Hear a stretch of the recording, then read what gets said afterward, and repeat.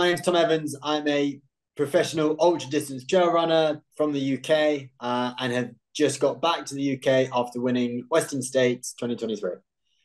Nice man, and you you ran a few years ago and took third, right? Correct. Yeah, I ran in 2019 as my debut hundred miler. Um, in the yeah in a very fast year and was behind uh, Jim and Jared.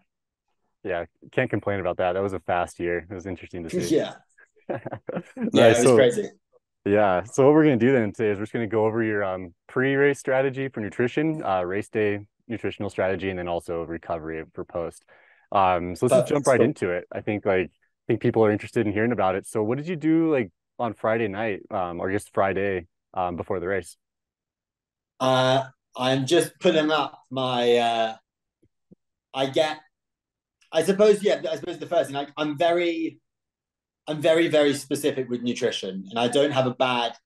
I've never really had a bad stomach in training um, or in racing, but I think it's a combination of yeah, training for it in and around training as well as around races. So yeah, I'm very specific. So the day before, I don't know if this is going to be on, if the video will be, but like, I basically, I don't know if you'll be able to see it. It might not even yeah, come up. show up. Yeah, it's it's not even. But yeah, I basically get a whole.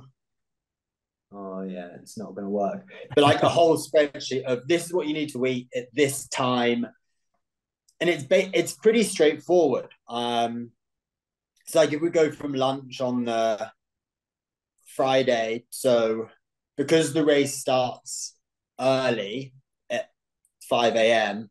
and I'm warming up from like half four, everything almost gets pushed like a meal before. So I end up like having breakfast pretty early on the Friday, lunch pretty early, and dinner pretty early, and then go to bed pretty early, and then have breakfast on the Saturday morning pretty early. So like lunch is yeah, rice, 300 grams of rice. Um, so yeah, 425 uh, calories of rice, which is 95 grams of carbohydrate, um, an egg, uh, and some Maurten, um, just with 40 grams of um, carbohydrate in.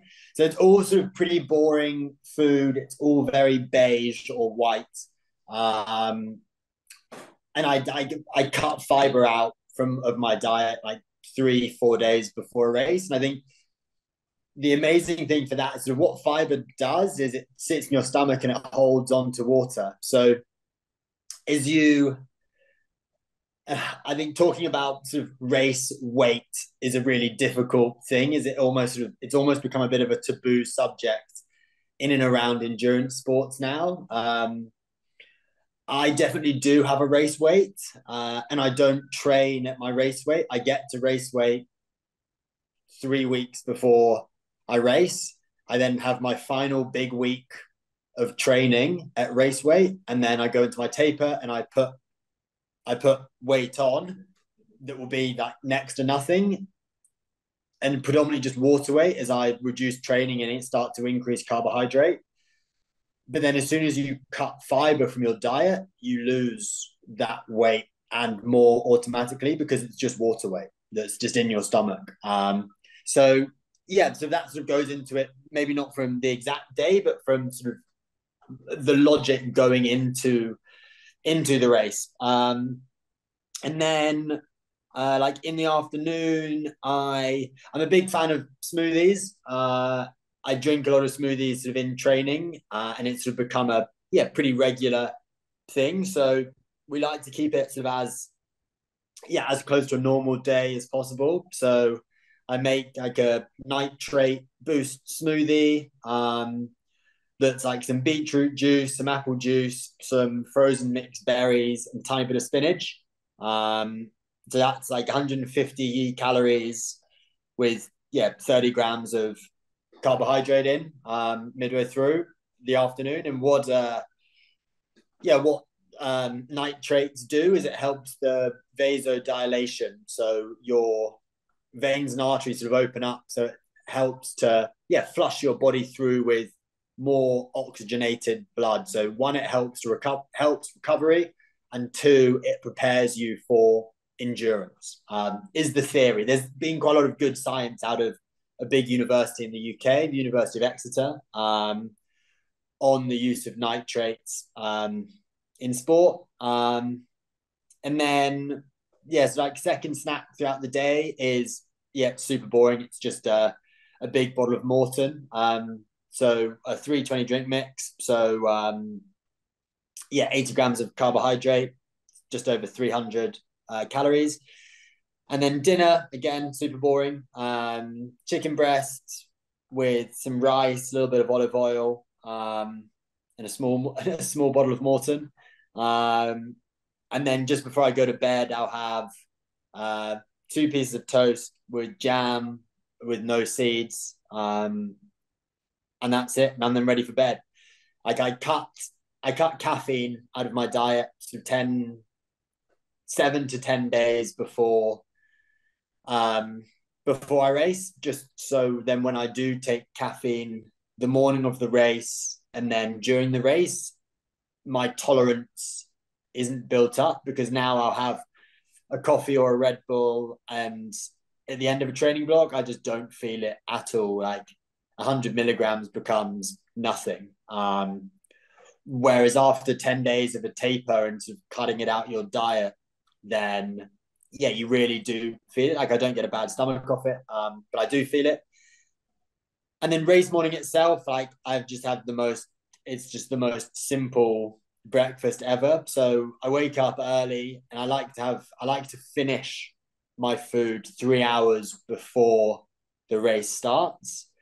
So had um, literally like 75 grams of 75 grams of cornflakes, the cereal, is 277 calories, with some semi-skimmed milk, it's 118 calories, uh, teaspoon of sugar, uh, and a slice of white bread with jam with no seeds. Um, again, all, all, super boring. It's super white and beige. Um, and then so, so, I got a question then real quick before we jump into actual like um like fueling strategy for your for Western States. How did you come up with this strategy of like one cutting out caffeine, two having such a bland day or two of eating, and then three like in the drink mix adding into it? Because I think a lot of people obviously like will try to cut out fiber and stuff, but it seems like you're still consuming like a fair amount of carbohydrates and simple carbs as well. Like, is this trial and error, or did you guys do some Red Bull testing, or what was up with that? Yeah, I've done a little, uh, I guess, a bit of a combination of. I think a lot of people, when they think about carbohydrate loading, they all you've got to do is just consume more carbohydrates. Whereas a lot of people, what they will do is they will start to, in order to consume more carbohydrates, they will consume more volume of food. I don't necessarily want more food in my body. I want to take the food in, absorb all of the carbohydrate, turn that carbohydrate into glycogen, and then for my muscles to store as much of that as possible. And with something like Maurten, having it in a drink, it means that I can consume more carbohydrate for the same amount of volume as food to what I'm used to. I think a lot of people will say, "Oh, I don't know why I had a bad stomach," and you sort of ask, "Okay, well, what was your carb load?" It's like, "Oh, like I ate I just ate so much rice and so much pasta. And it's like, do you normally eat that much before you train? It's like, no, never. And people say, don't do anything different in a race that you're doing training. It's like, so, well, why have you just messed your race up by eating twice as much rice as you normally eat?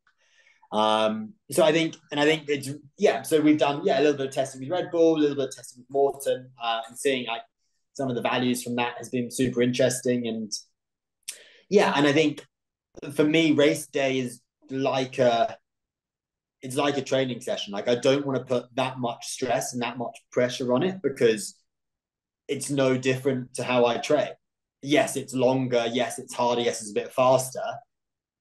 But the same principles apply. And uh, yeah, the oldest saying in the race book is yeah, don't do anything new on race day that you haven't done in training. So all these crazy things that people try, eating loads more food, if you don't do it in training, then why should you do it on race day? So yeah, we found that just using like a really simple sports drink is yeah the most effective way in uh, yeah making sure that your body has got as much glycogen in the muscle as you possibly can.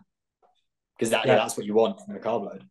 Yeah exactly. That makes a lot of sense. And it seems like a lot of people just just because of the dogma i guess like have always just like oh, i'm gonna have a bunch of pasta the night before the race whatever. Then they just feel like garbage the next day like bloated and have to go to the bathroom multiple times. So that yeah, makes a lot of sense. exactly. Like it's yeah it's really like when you think about it like it actually makes it pretty simple. Cool. I want loads of carbohydrate, but the least amount of food in my stomach as possible. Okay, cool. How can I do that? Through drink. Um, and that doesn't mean that you're drinking gallons and gallons. Like it's super clever now, the amount of carbohydrate that you can get in half a liter of water that you couldn't do properly five, six, seven years ago. And now it's like, especially with Maurten, with a, and yes, I'm sponsored by Maurten, so I would say that it's great, but I used it before I was sponsored. Um, and if I got dropped by them, I would continue using it. Um, it just allows me to, yeah, allows me to fuel correctly when I need to. Um, which yeah, which I think is yeah, I think is critical. Yeah, definitely. What about electrolytes? Are you topping those off like the few days leading in as well, or you just kind of do the average? No, not really. We did try a little bit of like sodium loading. Um, there is yeah, there's such contradictory science with electrolytes of if you're a salty sweater, it's like what came first? Did you did you put more salt or more electrolytes into your body so your body then sweats out more to try and keep the balance, the pH balance in your body neutral? Or because you've sweated out loads of electrolytes and then you, that means you need to put more in, but because you put more in, it means you're going to sweat more out. But like without delving too much into my states um, nutrition plan, like I had no extra sodium. I didn't take any electrolyte pills. I didn't take any form of electrolyte drink mix except what is in um, what's in my sports nutrition. Nothing extra. Oh, that's really interesting. So then I guess think or jumping back more to race day then, like you said, you tried to finish your your last meal three hours before the event. So with the 5 a.m. start time, were you up at like 1 a.m. and then eating at 2 a.m.? Yeah, it was super early. I was up at, I, I sort of organized everything pretty well. Like I had, I had already poured out my cornflakes into like a Tupperware container. So, so it didn't get, um, uh, it didn't get all soft. And then, yeah, so I literally woke up at eight, I think it was like eight minutes to two. And then yeah, stumbled into the kitchen, poured the milk in, got the bread, went back to bed, ate it in bed, um, and then actually managed to get back to sleep for sort of 45 minutes before waking up again. Um, I then do eat again, um, again with Maurten, um, like a sodium bi the their new sodium bicarb product, and like sodium bicarb has been on the market for more so for track athletes for ages, and there's yeah a lot of research into the effect of sodium bicarbonate on lactate levels. Um, the big problem with sodium with consuming sodium bicarbonate is it's super unstable, especially in your stomach, and typically leads to having a really bad belly, like two three hours after it. But what the clever thing is now is they have created a a transportation system, a hydrogel that allows the sodium bicarbonate to move through the stomach and then be absorbed in your intestine. So you don't get a bad stomach from it. And there is there is a lot of research on it, but it's not all um, it's not completely uh, it's not 100% saying, oh yeah, this is a complete game changer, but I think for running a marathon, I don't think it would make any difference. But you see it a lot now in like long stages in the Tour de France. People who are using the riders are using, especially the GC riders and the sprinters using bicarb, and a lot of yeah, a lot of trail runners like at UTMB last year. Both myself and Kilian were using bicarb before and during the race. Um, I think what it does, it allows you to go over your lactate threshold and for your body to start producing more lactic acid than it can get rid of quicker and more effectively than your body can at a time. So you're almost, if let's say, if at 160 heartbeats a minute, your body starts producing more lactate, more lactic acid than it can get rid of. What this then allows me to do is to run at 162, 163 beats a minute, creating the same amount of lactate. So it's almost you move your zone one, zone two, zone three, or like up a couple of beats. Um, where I've found it super beneficial is at altitude. Um, because running at altitude it shifts your zones anyway or your paces because everything's harder. Because there's less oxygen your body's having to use more glycogen in order to fuel your training. And then like you look at yes you want to be as fat adapted as possible and use the most amount of you want to be burning oxygen and fats making that into your energy sources. But sometimes it's not possible. And in a race like western states it definitely might not be possible. Um, so where i find sodium bicarbonate really useful in the race um, is i'm able to make a surge in a race and then recover quicker than anyone else can. So i look at yeah how the, this race went i made a surge in the race that worked uh, and i was then able to still run it just outside seven minute miling and recover. Um, do I owe that 100% sodium bicarbonate? No, but even if I owed one or 2%, if it makes a difference, uh, and have seen the data, have seen the results, not just in other athletes, but have, after having done tests with Maurten, um, yeah, it makes a, for me, it makes a huge difference. Um, yes, it's slightly, it's slightly high risk because it can influence your stomach a little bit more, but at the same time, in my opinion, the risk is 100% worth the reward. Um, so yeah, so taking a step back, so I need to consume all of that 90 minutes before the race starts. Um, so yeah, so at Western State, so I had my breakfast at two, and then went back to sleep, and then woke up at just before um, three thirty, and then made it. Then yeah, consumed that still in bed, and then after that it was it was time to get up. Uh, I then opened a can of Red Bull and sort of just started sipping on that to get a little bit more carbohydrate, um, and then 80 milligrams of caffeine in just before the start. Nothing crazy, not too much, but enough to yeah settle my body into taking caffeine again, and um yeah get ready to start a very very small, very very leisurely warm up. Um, because yeah, the start line in Olympic Valley was um it was absolutely freezing. Yeah, I think it's funny when people um I think the States is always being hot, but this the initial start is pretty cold. And then you climb up to the top of the escarpment and it can get pretty chilly pretty fast, especially this year.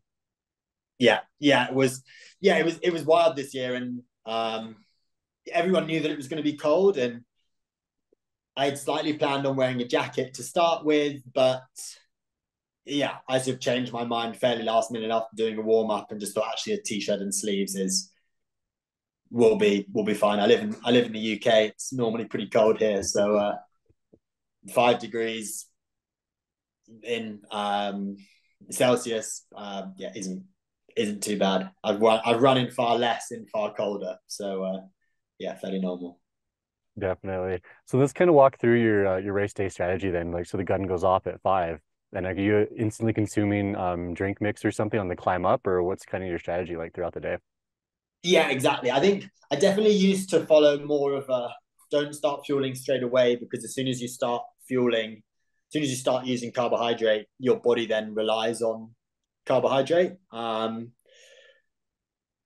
but especially when you're at altitude and a climb and the start of the race and you're in snow, regardless of how fit you are and how fat adapted you think you are, if that's even a thing, it's impossible not to use carbohydrate. Um, and if you start depleting your sources at the beginning, it's like having a it's like having a slow puncture on a bike. You might be all right for a while, but your energy is leaving, the air is leaving your tire bit of sealant in it might stop it for a little bit, but it's just going to keep coming out and coming out. And at some point, it's going to explode. Um, and you're going to have a flat, and you've then got to stop You've then got to change your tire, bump it back up, and that takes time. And while you've done that, the peloton's gone 10 minutes down the road. So, yeah, I start pretty much from the beginning. Um, it's actually why I started the race wearing a pack. I didn't want to start. The plan was to use handhelds and a belt for the whole race, and we'll go on to that in a little bit. But for the start, I wanted my hands to be free because I knew that there was going to be heaps of snow and I knew that I was going to fall over and I didn't want handhelds in my hand to yeah limit what I could do with my hands. I wanted to be able to hold on to trees if I needed to or put my hands in the snow and get a bit of grip if and when I needed to. So went for a pack. Um, yeah, with two 500 milliliter bottles. Um, one with a strong one with 18 milligram 80 grams of caffeine one with 40 gram not caffeine 80 grams of carbohydrate and one with uh, 40 grams of carbohydrate um, and then a couple of gels as well 20 minutes in i think definitely running uphill you're using more muscle you're recruiting more muscle fibers in order to climb. Um, plus in the snow running in snow is like running in mud. Like you end up using a third to 33% more energy running in snow for the same effort as running not in snow. So it really can tear your race apart if you're not fueling. It's also cold so your body is having to work harder and to use energy in order to keep your core body temperature warm so even if you're used to running for an hour and burning, let's say, 100 grams of carbohydrate, in those conditions, you're probably burning 130, 140 grams of carbohydrate. So, in order, you, you've got to put that back in. So, whereas a lot of people ask or have asked, like, oh, how many grams of carbohydrate did you average during the race? It's like, yes, I do have an average, but my first the first three hours of the race, I consumed significantly over my average than I did in the hot sections of or the hotter sections of the race because it's far easier to drink sweet drinks and to consume things when you're cold compared to when you're hot. Um, so this is definitely something that like we practiced quite a lot in training. So I would, con- in training, I'd be consuming, I'd do runs where I'd have like 140, 150 grams of carbohydrate an hour, which is a lot and more than I took in during the race on average. But I would do that first thing in the morning in Flagstaff where it's cold in order to practice it um, because I knew that that's what race conditions were going to be like on the day. Um, and you've got to train. If I've learned anything from this last training block is the more you have to train for the demands of the race. And if you're not training for the demands of the race, then you're not training for the race. Um, so by doing these sort of earlier morning runs, it was just yeah, it made it just second nature when the race started. Like I didn't have to worry about oh, am I can do I am I do I feel right to consume enough? This is this is way more than I would normally take. I'm definitely taking more carbohydrate than anyone else in the race is taking. Like, yes, I'm a bit bigger, I'm a bit more muscular, but I'm considering, uh, yeah, I'm taking consuming significantly more than other people. Um, but like they did a, there was a, um, yeah, a survey done after Ironman Kona last year with the top 10 men and the top 10 women, and there was a direct correlation between position and amount of carbohydrate consumed during the race.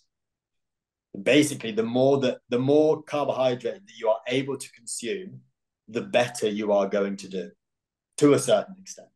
Um, so that's what we trained for. We trained like I did UTMB last year with 90 grams of averaging 90 grams of carbohydrate a year. Whereas at Western States this year, uh, my average was 120 grams of carbohydrate an hour. In the first three hours, we're at 150 to 160 grams. Yeah, that seems like a, a lot, but obviously it, it works. But like it's interesting because a lot of people are shooting for like maybe 60 to 90, where you're almost like 75 like percent higher than that. I think you'd depending on the conditions and depending on how hard you're working, like if it's not going to upset your stomach, having an excess isn't a bad thing. Like you're just gonna, if you don't consume it, you're just gonna pee it out, um, which isn't the worst thing because you're keeping your body to, to its normal process. And I think there are some people who do it who do far better off lower carbohydrate. But what I find is on a high carbohydrate training diet, like touch wood, like I've not had a niggle in the last six months. Not I've not had one day running where I thought, oh, this is a bit sore, this is a bit tight. I then recover, I recover so much quicker because my body's not running on empty at any point. Um, like if you go out for a five, six hour run in training, like you're you are depleting your body so much and you're then you're probably missing a meal and then you're probably never going to quite recover from that missing that meal. And you end up to just slowly running yourself into the ground and yeah not having enough carbohydrate and then getting a niggle and so on and so forth. It just builds and builds and builds. So what i found by yeah consuming a high amount higher amount of carbohydrate in both training and racing is that I'm so less susceptible to picking up these like repetitive strain, tendonitis, tendinopathy injuries. And it's been, yeah, there has been, again, there's been a direct correlation between the amount of carbohydrate I consume and the reduction of tendinopathies that I've had. Um, whether they're related at all or it's just been pure coincidence. Um, yeah, who knows? But um, yeah, don't fix what uh what isn't broken. Um, and yeah, for me it works. I can yeah I can get off it. Um, yeah. Yeah, I know that makes a lot of sense, and I think I think a lot of people, even though they think they eat a lot, are not eating enough. Still, just kind of average runners. It's like it's like a lot of people think like, oh, I'm overtraining, I'm too tired. It's like no, you're probably just not eating enough or lot, not eating enough nutrient dense food. One hundred percent. Like people ask, "Oh, do you plan a rest day?" I'm like, no like i don't i don't need to i end up like i don't plan rest days in training but i'll take them when i feel like i need to um which is probably once every five weeks four or five weeks when slowly i'm just getting down and down and down and i have a whole day that i can ping everything back up to where it should be and then sort of just slowly decline. But and i think by yeah by fueling correctly you're able to do that rather than from fueling incorrectly and just being tired your body then starts breaking itself down in order to fuel itself which is what happens when you run out of glycogen stores especially if you're operating at a higher intensity when your body's not capable of burning fat your body then starts eating soft tissue muscle in order for it to fuel itself with enough energy. And if you do, even if you just do that for 10 minutes a day, every day, it's just slowly depleting and depleting and depleting. Um, like the majority of runners will go out for a 90 minute run and not even think, oh, I don't need to consume anything. It's only 90 minutes. But your body's only, you're probably, one, you're probably going faster than you think you are. And you're probably using way more carbohydrate than you think you are you've only got 500 grams of carbohydrate stored in your muscles before it runs out and you then have to start using a different fuel source a lot of people after an hour of running are going to have burnt through that 500 grams pretty quick um, so then you, your body is just breaking itself down in order to keep fueling so i would so much rather yeah fuel my body correctly so i'm one, I'm ready for the session, and then two, I'm then recovering as quickly as possible, so I'm then ready for the next session. Yeah, no, that makes a lot of sense because you don't want to like obviously like destroy your body. You can whatever. Um, yeah, let's just jump back in into the race day then. So like you're at Robinson Flat, 50k ish in. Um, at that point, you jump, you go to handhelds and go that way in that direction. Um, and then what? How'd your feeling my, change? My plan was to switch 100% to handhelds, but for some unknown reason, um, I just had a really like gassy stomach. Um, yeah, nothing would, without delving too much into the detail, nothing would come out. It was just so gassy. Um, and I was planning on wearing a naked belt, which is obviously quite tight on your on your belly. So I just sort of thought at the time, right, well, there's no point in changing anything. It's not this hasn't got any worse, my stomach. But I, there's no point in trying to aggravate it. So I switched to handhelds, but I kept the pack on. Um, and then in the pack, I could just put ice in the back panel.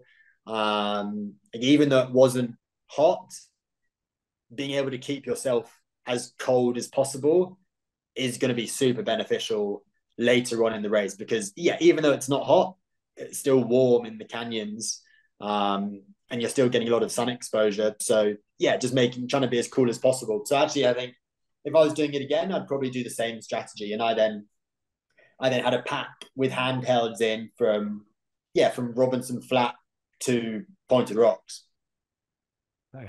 and then how did your um did that like change your nutritional strategy then? Like even though it wasn't super warm did you start going to more um more drink mix at that point or what'd you kind of do?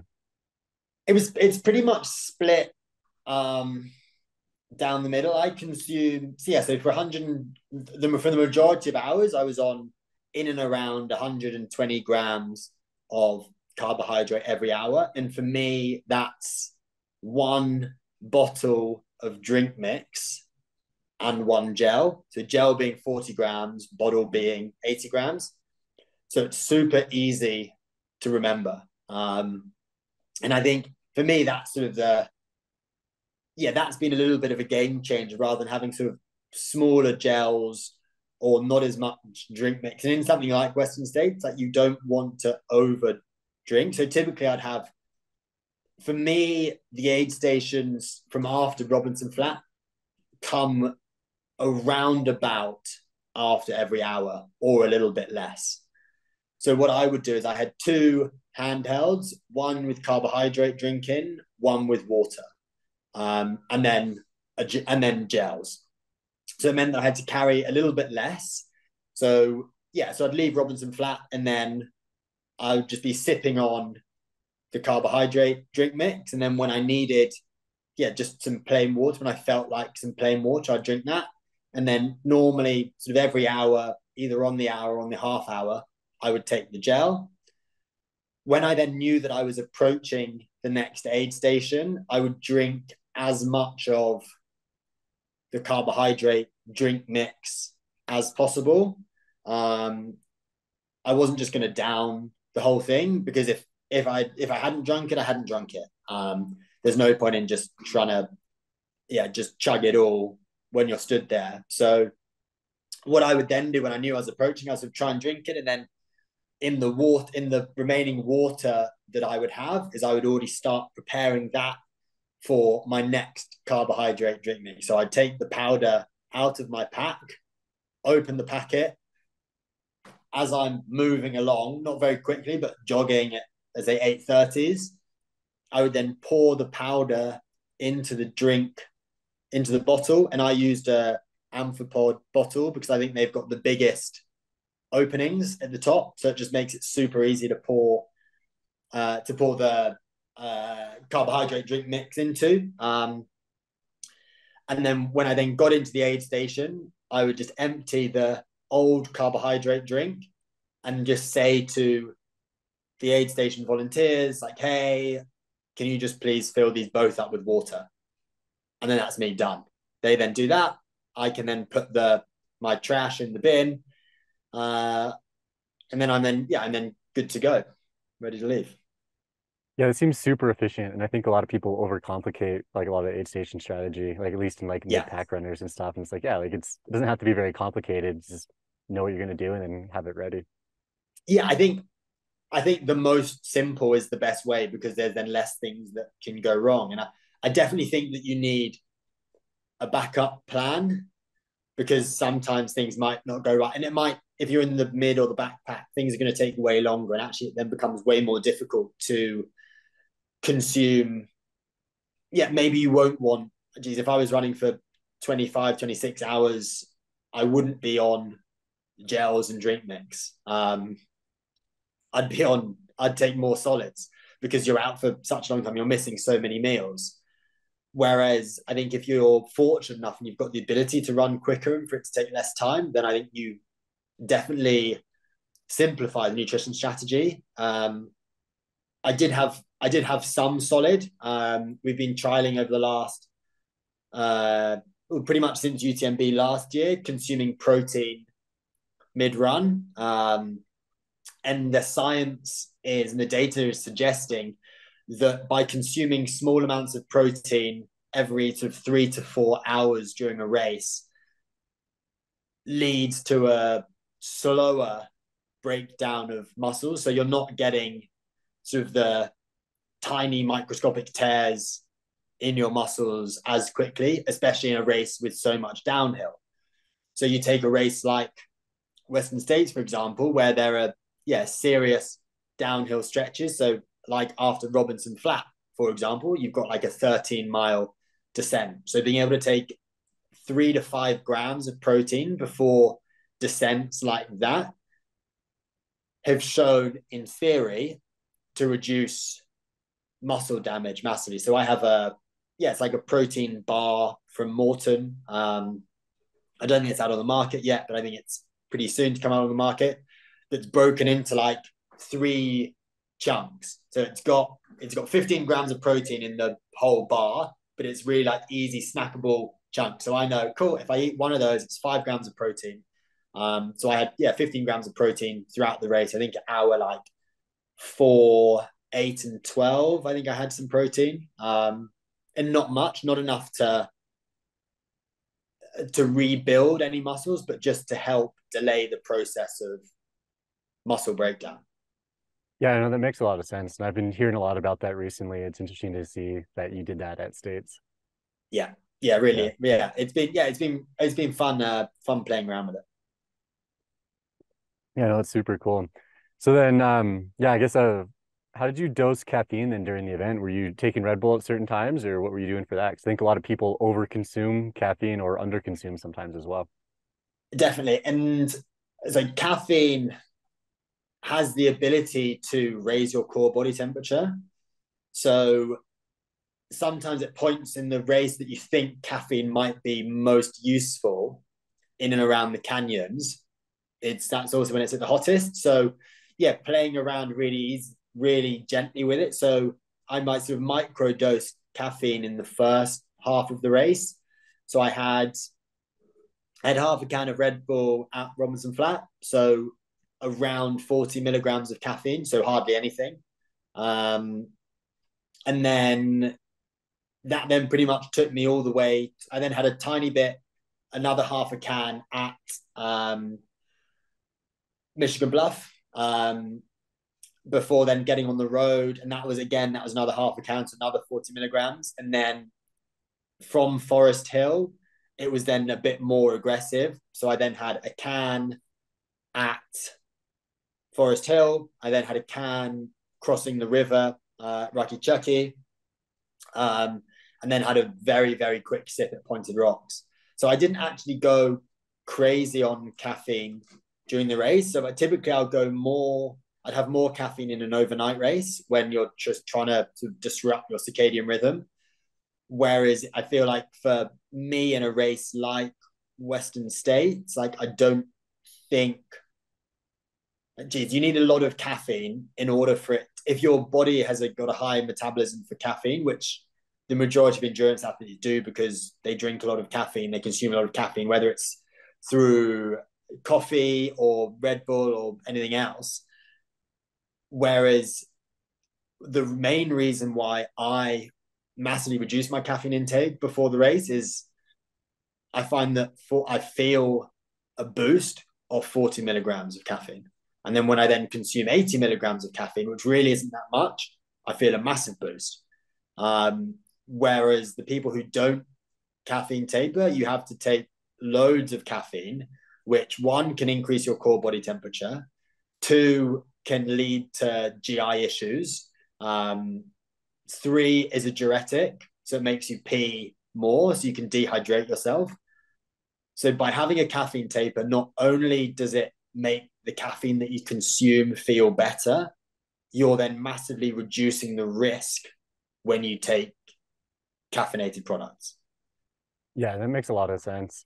Um, and just thinking too, like obviously this year at States was fairly cool compared to most years. Like you're still in the 90s, I think. But if it were say like 100 degrees at Forest Hill, would you have toned back the amount of caffeine you you were taking in? Yeah, and I think I think I would have done it on feel. Um, if I was feeling if I was not feeling great, I'd probably had the same amount of caffeine. Um, I would have rather had that caffeine boost and slightly risked increasing my core body temperature or tried to cool my core body temp down in a different way. But then again, on the other hand, if you're if you're feeling pretty good in the heat, then yeah, I would have just yeah, I would have reduced the amount of caffeine. I would, I'd have still taken some, but maybe not quite as much. Cool. Yeah, it makes sense then. And so then, as you were kind of coming, um, I guess past Pointed Rocks and everything, closer to the finish, did you just keep the same amount of carbs, uh, basically, like I don't know, as far as your average goes, or did you kind of change anything up at that point? No, kept everything exactly the same. Still from from Pointed Rocks to the finish line, I had 120 grams of carbohydrate. Um, I had a whole bottle of Maurten 320 drink mix. I had a sip of Red Bull at Pointed Rocks, and then had yeah 80 grams in a bottle um, and a 40 gram gel. Um, the race isn't won until you cross the line. Like you can still, the wheels can fall off. Um, and actually, I had yeah, I had 25 minutes, but you start walking from no hands up the whole climb, and you walk the whole way from no hands bridge to the track. Someone's putting 25 minutes into you. Um, so yeah, I fueled. I probably had my last sip of drink when I got to Robie Point. Um, and then from there, last mile in, yeah, things aren't going to fall off. Hopefully, you're not going to fall off the wheel too much at that point. But yeah, up up until 99 miles, I was fueling fueling as race plan um, went in. Nice. Um, so thinking like I someone mentioned to me on the live stream, I think Dylan was talking about it. I don't remember exactly. I was just I heard this from somebody. Um, they said you were taking ketone esters. Is that something that you were taking during the event? Yeah. Um, something that we had trialed in the build up. Um, yeah, again, there's lots of science suggesting that it works really well and then there's lots of contradictory science saying that it's a complete waste of money. Um, like it's it's seriously expensive stuff if you're getting the good the right stuff that's that's being tested um, alongside sort of the wider laboratories. So yeah, I think it's for me when taking ketones, it almost felt like I was if I was doing a low carbohydrate run and I took ketones, it felt like I was doing a high a high carbohydrate run. Um, I think in trail running it can be super useful, and I'm not sponsored by any ketone brand. I bought it all myself. I think I got given a five percent discount, um, and just actually it's just easier to buy it outright, um, which is exactly what I did. Um, and I think what it's what it more so does to me is sort of combined with the caffeine is it's more of like a brain stimulant rather than a energy source. Um, I feel far more switched on when I'm taking ketones, um, whether it's a placebo or not. If it does what it, if it makes you feel more switched on, like, I can especially feel like for trail running that you've got to concentrate for the whole race. Whereas in a road marathon, people say, oh, yeah, get to like mile 16 and then just try and switch off till you get to mile 20 before it starts to hurt. In an ultra marathon, you can't. The only place you could really switch off was running on the road from Forest Hill before you turned left down to Cal 1. Um, the rest of the race, you've got to concentrate where you're putting your feet. And so to be able to make that, yeah, to be able to make those snapshot decisions quicker. And I think, yeah, using ketones is for that has been pretty helpful. So yeah, I'd done a I did a loading phase in training, um, and then took three three ketone, however big the things are, delta G ketones um, three during the race. Um, yeah, lots of lots of cycling teams are using them um, and not necessarily advertising that they're using them because I think it is a yeah, it definitely is a new it definitely is new. Um, but yeah, I think do I think it won me the race? No, but if it gave me one percent help and I had trained with it all the way through in the build up, um, I definitely felt like I recovered better from taking them as from taking them as well. Like the it, it always sounds bad. Um, as soon as you mention EPO, EPO is a naturally occurring substance in your body. Um, yes, when you when you inject it into your body, that is not allowed. But there is now quite a lot of science suggesting that taking ketones in sport naturally raises your body's post exercise production of EPO, which then allows your body to recover. Um, it's a very, you're not taking EPO, you are not taking synthetic EPO. And I think EPO, yeah, it's in your body naturally in small amounts. And by taking something that naturally may increase it, like going to altitude, um, does exactly the same thing. It's like being at out. It's like going to really high altitude for two hours, and then coming down, and your body's sort of buzzing and making more red blood cells. It's basically doing exact. It's basically doing that job for you, but without the risk. In theory, whether it's whether it helps or not, who knows? But um, yeah, I think it's. Uh, I know lots of other endurance athletes who are using ketones, and quite a few in in trail running, like Zach Bitter, for example. He's been using ketones for oh, for a long time, and he's he's done he's done amazingly well. Um, is it purely down to ketones? No, but yeah, I definitely think it can help.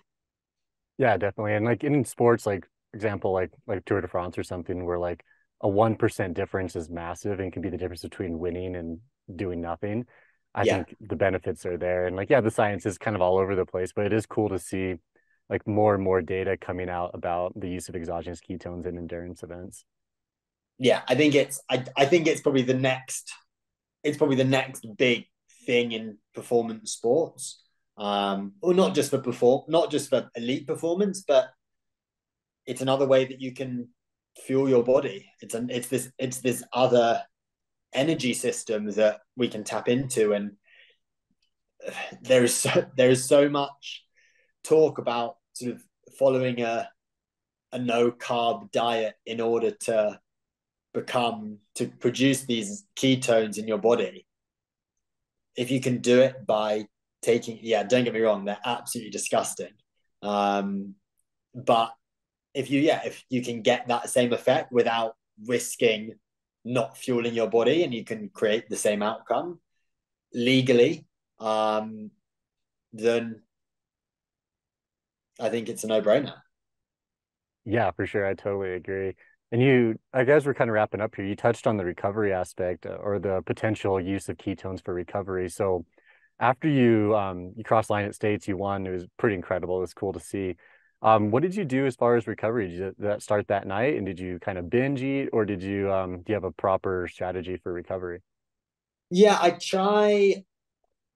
I try not to binge eat too much. Um, I want to recover well, so yeah, I keep I keep the things in my diet that I know I should. Like, and I try to eat the least amount of really, really inflammatory foods as possible. Um, but having said so, yeah, I'm still. I'll then start to put fiber back in my diet. Like I'll make sure that I'm replenishing everything that I've lost. So hydration first is probably the biggest thing, and just rehydrating um, progressively. Like I think after a race like Western States, it will probably take three, four, five days to rehydrate properly because you can't, you just can't consume I probably lost like 14 liters of sweat during the race. you can't just down 14 liters of water and think you're all right and probably kill yourself. Um, so yeah, I think yeah by yeah just slowly yeah slowly rehydrating and then yeah food wise that's the big one. Yeah just making sure I'm getting enough protein fats and carbohydrate. Um, and I'm getting reintroducing some colored food back into my diet. A few green things here and there. Not too much though. More than just a bit of salad and a burger. Um, but for me, it's probably more it's probably more mental recovery rather than I think physical recovery takes care of itself. But after a big race that you have a great result in, I think the mental recovery can almost be as challenging, if not more so. And that's definitely something that's I don't think talked about enough or prioritized enough because yeah, uh, geez, I've been training for Western States since I got back from my honeymoon on the 23rd of December. Every day since then, I reckon I've thought about Western States for three hours a day. And it's now finished. like filling that void. And yeah, yes, it could have been way, it could have been worse and you didn't achieve what you want to achieve, but you've been on this roller coaster of a journey and you've then achieved exactly what you wanted to achieve and it's just that sigh of uh, not a sigh of relief but there's so much weight you put i put so much pressure on myself that it just felt like a huge weight taken off my shoulders so i just allowed myself to yeah to fully relax to not be an athlete for a week what are we now eight days yeah eight days after states and i've not run yet um, I've done a little bit of training. I've been in the pool. I've done some cycling. I've not run yet, and yeah, I don't feel the I don't feel the need. I'm not really craving it. Um, and so I just yeah keep listening to my body and just give my because I know as soon as I start running again, I'll start training again. Um, and I just want to make sure I give myself one enough physical time for recovery, but two enough time to mentally recover before going into another training block that's going to be as equally hard, if not harder. Yeah, definitely. Like setting yourself up for that next training block seems to be like vitally important. And it feels like a lot of people just want to jump right back into training, like, oh, I'm going to use my fitness that I've gained over the past however many months. But it's like it can be detrimental to just kind of jump into it that soon, huh? 100%. I think you just, yeah, you can jump into it. And like, yes, you do lose you do lose a bit of fitness every day that you don't train, but you don't lose that much. Um, you might lose the feel, and yeah, you'll get back training and you'll feel pretty rough for a week, but after that, you'll be at pretty much the same level that you were a month ago. Um, and I think yeah, just being able to when I want when I'm ready to commit to a training block, I'll commit 100%. But if I'm not 100% ready, then I can't commit because you end up just in second best against yourself. And when things get tough, you're going to make the wrong decision and you're going to back away. And actually, I'd so much rather, yeah, take a week extra recovery or go, yeah, go a week longer with recovery rather than start training a day too early. Um, what's a week?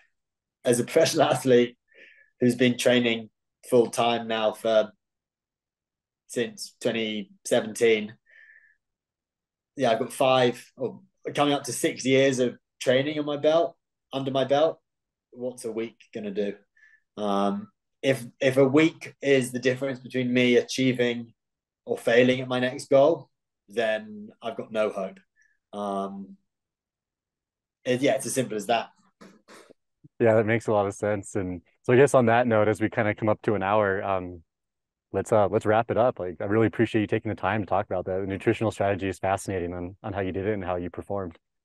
No, thanks very much. Thanks for your time and yeah, thanks for some uh yeah, some amazing pictures. And we met very, very briefly in the Grand Canyon uh with Hayden and and um and Danny Jones, DJ. So yeah, no, thanks so much for the time and yeah, great to chat and look forward to seeing you and on the trails at some point very soon. Yeah, for sure. Maybe uh, someday we'll actually talk a bunch in person instead of just online. Perfect. All right. Sounds good, Tom. We'll talk to you soon.